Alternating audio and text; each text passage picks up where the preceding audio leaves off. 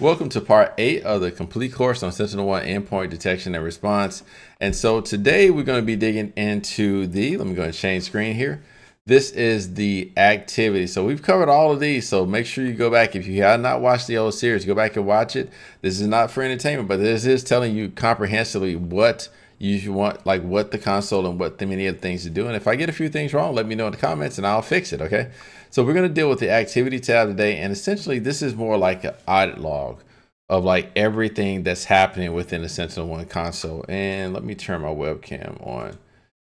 There we go. Okay. So this is comprehensively everything that's happening within the console. So that means we got everything from, and I've turned these off because once again, these do so, show some information like public IP addresses. So, you know, when we performed actions, it would show my IP address and those different things here. But we will start with here, like agent decommission. That means we basically hide the agent um, so that it can no longer be seen in the console for agents that may not necessarily come back, uh, may not be like they're they're uh, either the computer's been formatted, computer shut down, the computer is destroyed, or something like that. So it's a way of hiding in the console. And Pierre, we talked about this being agents recommission. By the way, I have Pierre from the Cybersecurity Mentorship Program for Technology Interpreters in here. So Remember, so if, if you take your computer and you decommission it, but that computer for some reason is not damaged and maybe they just had it shut down in a storage closet and they fire back up, then it will recommission yourself. And Pierre, this is where you want to go to see if that happens, okay?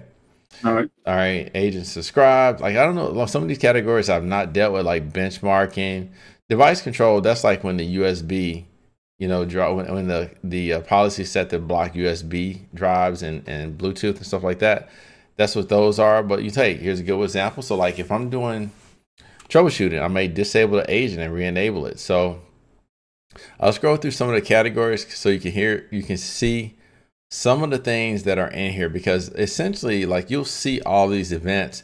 And so I just want you to kind of see, it's really simple. So a couple of ways you can filter through here.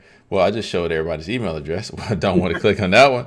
Guess I'm gonna have to put a blur on the screen for that one. but um, so, but you can also, let's see, we got malware. And so for malware options, we've got cloud marked as threat. Um, that was interesting. Haven't haven't come across that one as much mitigated. I do know that. New custom rule alert. Well, so we, we that's pretty self-explanatory. Not mitigated and then preemptively mitigated. Honestly, I want to dig into these, but either way, these are just the different statuses that you can see. I'm typically used to seeing mitigated, not mitigated. Um, uh, and that's on the malware category. Under the mitigation category, you can see what was killed, quarantine, re remote, remediated, rolled back, shut down, on quarantine. So those are some of the mitigation events that you can perform. And then you can look at threat management. So analysis verdict, and we covered all of these, or many of these in previous videos. So you can see marked as suspicious, marked as a threat, notes. So we can see all the notes when, or who added notes. And then XDR action, I think extensive uh, detection and extended detection and response or something like that. I think it's XDR. Please correct me. Feel free to correct me in the, com in the comments. Exclusion, so you can see deleted browser exclusion, exclusions or file type exclusions. And these are basically like, uh, for instance, if there's a program that you don't want SentinelOne to act on, you put in an exclusion. And then say, for instance, I don't need that exclusion anymore, or I put it in incorrectly, I can delete it. Either way, the audit logs will show that I'm adding an exclusion. Say, for instance, I wanted to run a malicious piece of software and I'm an inside employee that's doing bad stuff. Maybe I'll put an exclusion so that the bad guy software can actually run, right? But the thing is, or a bad person, right? But the thing is, uh, if you do that, it does show up in audit logs, and people like myself or administrators can come back and read it, like read this. So deleted hash block list. So if you put a block in, we all talked about that under the end. I'm sorry, the Sentinels tab. That's where all of these things came from. New immune. So that's those are some things I haven't seen before in logs or come across. Uh, new edit block list. We know what that is. New modified browser exclusion. So those are pretty straightforward. And then we can get into the operations, right? So 2FA configure. So a whole bunch of things we see recovery email added. So this is some of the stuff like that's, you know, basically about securing the environment, right? Or your user accounts, really. That's what it's about, your user accounts more specifically. AD configuration, agent updates, agent reset local config. So this is a lot of stuff. Agent up, auto upgrade policy create. So and these are self-explanatory. Change my password, password expire, forgot my password. So we can see people making password changes. Uh, enable API token generation. This is one by default. Maybe you. Why would you want to look at this? Is because maybe somebody can create an API key and then they can use the API to get in your SentinelOne environment and be able to snoop around and see all kind of stuff. And you never know it because they never technically logged in using uh, the interface. But if you're not looking for this API token generation event or uh, something like that, then you'll miss it, right? So the bottom line is they don't need. To, let me make sure I explain this because somebody did make some good comments, so I don't want to be confusing. Uh, somebody can, like you can determine whether or not somebody can or cannot make an API. And what the nefarious person will be doing is essentially creating an API that they could then give to somebody else and they can use to that to connect. So you really do want to monitor who's creating APIs. Firewall control, like rules created in settings, that's a whole section that actually integrates with firewalls. Uh, for instance, one live security policy inherits a lot, local upgrade, uh, authorization expiry. Um, so haven't used that one as much.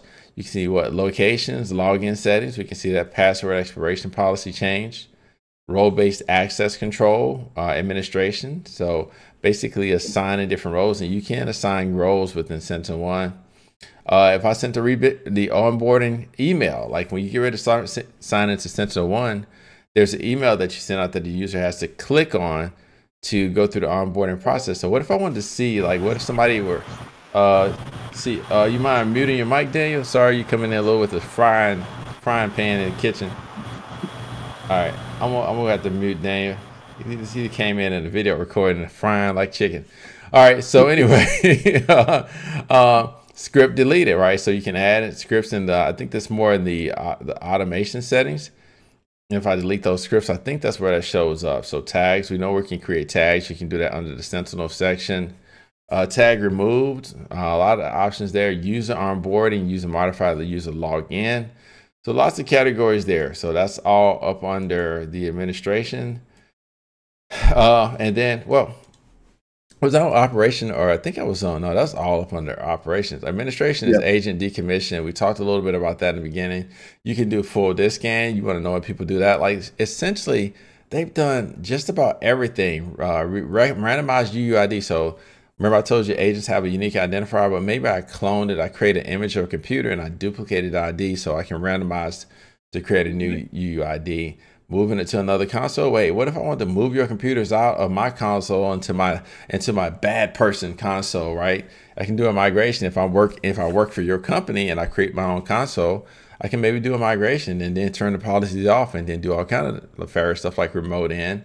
And by the way, remote shell is one of these options. I forgot it's probably under some of the threat categories, but you can remote in and you will see every time somebody remotes into somebody's computer. And then these detection rules, if you're creating detection rules, uh, don't know a lot about that. Haven't created any detection rules so far. Don't know if that's available in our main console. And then of course you can filter by date. And that's the thing. A lot of times when it comes to security, you really want to think about it like this. You don't want to just search you want to be able to narrow it down to the smallest group possible and then be able to search from that group. So if I know an event takes place on this day at this time, then you see you can use dates and times in the console. And so basically, I'm going to start. Okay, I'm going to put the the the start time before the event happened, the end time after the event happens, and then sometimes I may need to add a little bit more space before or after or both. And so that was the way you can kind of like use this this automation console to see it. And then of course, just want to mention through SentinelOne, you have an export like an export button on just about everything. And then finally, uh, you can see right here, we actually have a download button. Let's see, you can actually download the threats. I believe that's what that is for. So if you click on that, see it goes to my blank desktop Destiny to shortcut, and you see it looks like quarantine report for the coupon. So that looks like it's a report. Oh, it's essentially downloading a report. But I think there's a section here where we can actually download the threat. So uh, Pierre, so since this was actually pretty straightforward, do you have any questions? We're only at nine minutes, so we'll do about 30 seconds of questions here. Anything for no. you? No, I don't have any uh, specific question when it comes to the this area.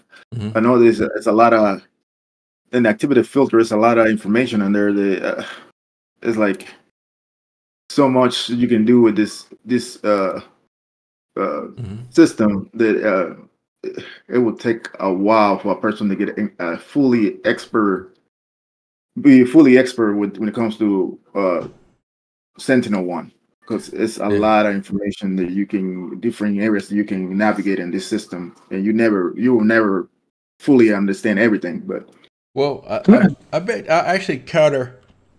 I actually challenge that thought because the thing is, I guarantee if you worked in this and you really like took some time to kind of get to learn, you know, like say I'm covering everything, but if you worked in this, mm-hmm.